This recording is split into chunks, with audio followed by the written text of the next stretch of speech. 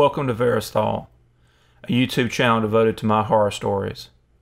I'm Brandon Faircloth, and if you enjoy the story you're about to hear, please like, share, and subscribe.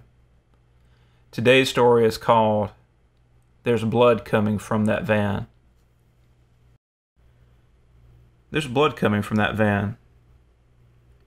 I looked over to where AJ was pointing, three houses up on the far side of the street.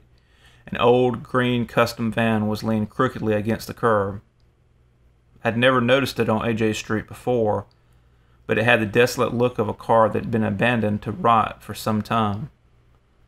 The walls of the van were tinged with rust and faded paint, the ghost of some old airbrushed scene barely visible on the street side of the van. It was getting dark and we weren't that close, but I didn't see what he was talking about. Where? He went to point again and then seemed to think better of it. Um, you see the far right bottom corner of the back doors? It's running down the bumper there. You see it? At first I didn't, but then I caught motion as another rivulet of something dripped off the bumper and onto the asphalt below. Yeah, I could tell now that something was definitely leaking, but how was AJ saying it was blood? So typical of him, getting dramatic over nothing. Rolling my eyes, I elbowed him. Yeah, I see it, but no way you can see it's blood from here. He frowned at me. It's blood. You can tell the way it's moving. Plus, what else could it be? Snorting, I shook my head as I glanced back at it. Um, how about literally anything?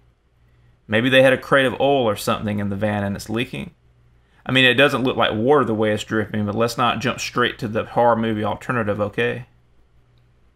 I looked at AJ for confirmation that he was going to chill out, and what I saw on his face gave me pause. He seemed really worried about it, maybe even a little scared. I thought that it was just some of his normal silly bullshit, but now I wasn't so sure. Look, when did you first notice the van? Has it been here for a while? He shook his head, glancing at me before going back to staring at the van. No, never. I mean, no, I've never seen it here before. It wasn't out here when I left to meet you at the movie today. I raised an eyebrow. Are you sure? You tend to space out and not notice stuff a lot of times. I pointed toward the van, and those tires look flat as shit. That thing looks like it's been parked for a while, is my point. He shook his head again. No, I swear. I would have noticed an old serial killer rape van parked down from my house. And believe me, if it had been parked there for more than a couple of days, my mom would have called the police or city council or something. She loses her shit about that kind of stuff. Nodding, I looked back at the van. Closer up, I had to admit that whatever was leaking from the van did look thick like I'd think blood would look. And it could have been a dark red, though I couldn't say for sure. What caught my eye more was the airbrushed painting on the side of the van. It was in better shape than I had thought originally, and at this angle and distance I could make out more details. It was an elaborate portrait of a large oval lake. On the far bank I could see what might have been buildings, or just rust and damage to the overall picture backlit by the light of twin red and green suns that were either setting or rising in the background. The whole thing had a faded, hazy look that made it look almost dreamlike, though whether that was intentional or just due to age, I couldn't say for sure. But I did want to get a closer look at. Hey, we're here. I looked around, momentarily confused before focusing on AJ with a flush of embarrassment. Oh shit, sorry. I guess I spaced out for a second. He gave me a distracted smile before looking past me to where the van was parked. Fuck. That van is even closer to the house than I realized. I turned and looked. He was right. I would have sworn it was further down the street, too. I know it's weird, but big deal, right? Let's just go on inside, okay? He nodded, barely seeming to hear me. When I poked him in the stomach, he looked down and nodded again, this time meeting my eyes with a nervous smile. Yeah, yeah, you're right. Let's go. Normally, I would have walked the two miles back to my house when I left AJ's that night, but the memory of the van had haunted me since we'd gone inside to have dinner with his family. We were both still six months away from getting licenses, and when his father offered to carry me home, I didn't object. Giving AJ a quick hug, I followed his father out into the garage and got in. As he backed out of the driveway, I turned and looked back to see if the van was still sitting there. I didn't like the nervous feeling I'd had for the past several hours, and if it was still lurking out there, I figured I'd ask AJ's father about it. But the van was gone, and while there may have been a dark puddle on the road where it had been, that could have just as easily been a trick of the light. I texted AJ right away that the van was gone, but I didn't get a response by the time I got dropped off at home. Heading inside, I told my parents good night and went up to take a shower before getting ready for bed. It was only when I got out of the shower that I saw I'd missed several texts from AJ. Sweetums. Just looked and the van is still out there. Maybe it left and came back right after you were gone. I don't know. Sweetums. Know it's dumb, but it's bugging me. Think I'm going to go walk by it closer. It's under a light so I can get a better look. Sweetums. Shit, it's cold out here. Wish you were with me, smiley face. Sweetums. Okay, I just walked by it twice. It really does look like blood. I don't know. It's still dripping some from the bumper, and there's a big puddle under the van, I think. Sweetums, also leaking from the big slide door on the other side. Me, get away from there. Go back inside, please. Sweetums, I hear something inside. Music.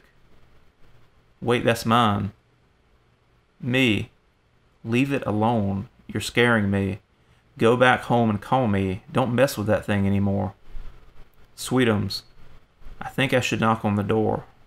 Someone could be hurting there. Besides therapy, just uh, me. Baby, answer me.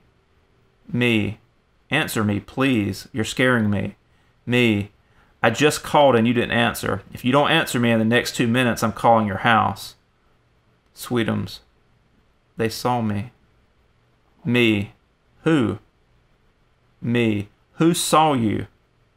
Sweetums. White face. At the window. Sweetums. I ran. Didn't want to show where I lived. Behind gas station. I was terrified now. I thought I knew where he was talking about. There was a closed down gas station on the block behind his street. If he ran all the way there, he was either pulling a big prank on me or he was really scared. Me. Are you just fucking with me? Be honest or I'll be mad. Sweetums. Someone is coming. Me. Coming to get you. Stay where you are, if you can. Coming. I was already running downstairs, yelling for my parents to get up, that we had to go help AJ, that he was in trouble. Usually they would have argued, but I guess they could see by how I looked that something was really wrong. We loaded up in my mom's SUV and I told them where to go. When we got there, we rode all around the front and back of the gas station, but there was no sign of AJ or anything else out of the ordinary. I'd held off texting or calling while we were headed over, just in case some light or noise from the phone gave away his hiding spot to whoever was following him.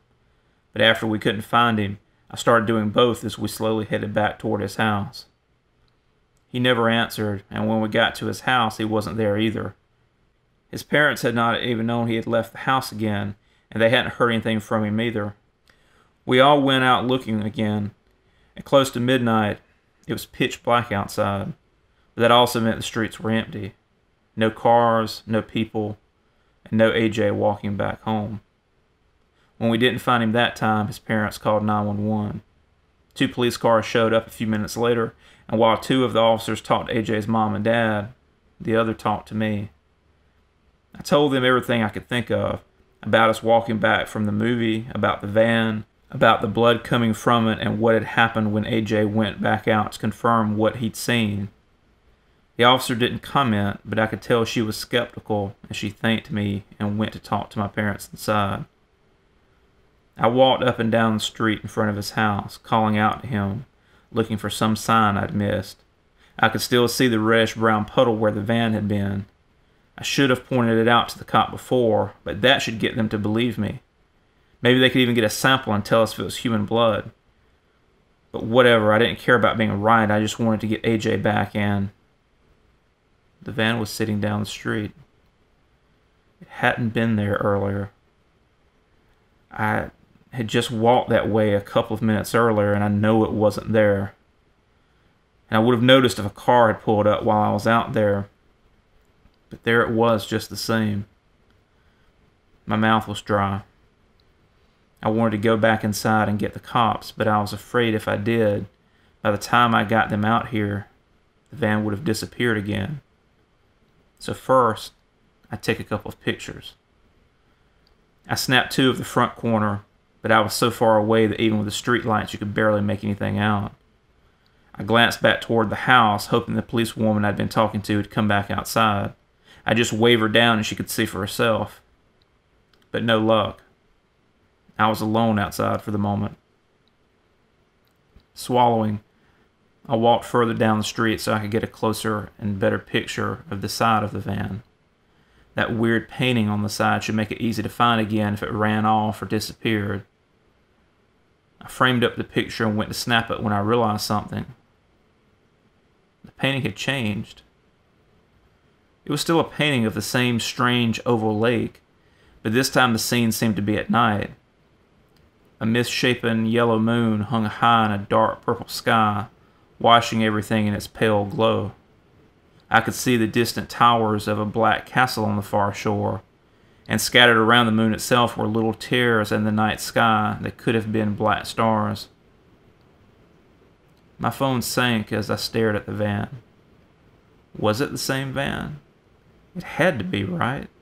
It looked the same except for the painting and, well, maybe it looked a bit newer than it had before. Still, I didn't understand what was going on and I needed to stop being an idiot and get some help. I raised my phone again to take one last picture when it buzzed in my hand. Stabbing the message with my thumb, I turned my phone to read it. Sweetums, get away from the van. Please don't come closer.